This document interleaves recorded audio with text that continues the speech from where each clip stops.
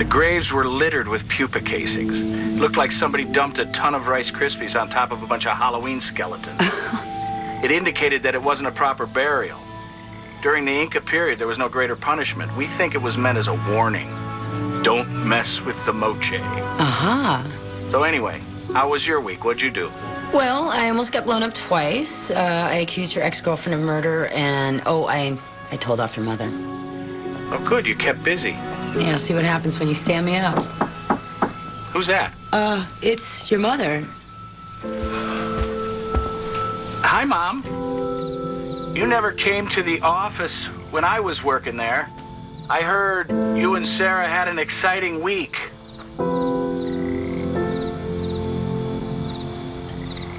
Oh. African violets. They're beautiful. I told her you liked vegetation. Thank you. Um, I'm sorry too. Can we start over? When I come back, the three of us will go out to dinner.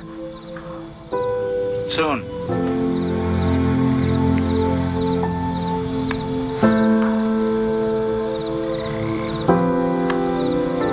Your mother is talking about our sex life.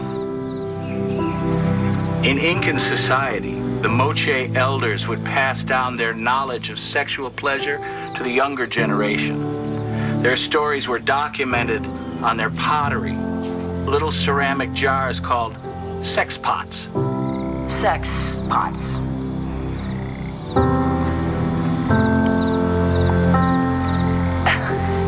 sometimes too much. I love you both. Love you too. Bye.